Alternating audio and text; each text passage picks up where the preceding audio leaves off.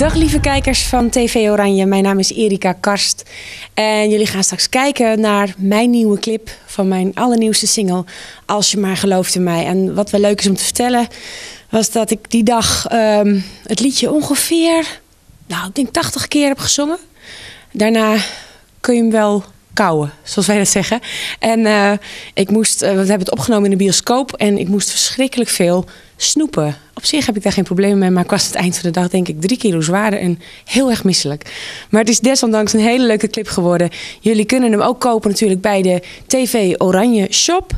En uh, stem zoveel als jullie kunnen. En ga lekker genieten van mijn nieuwe clip, Als je maar gelooft in mij.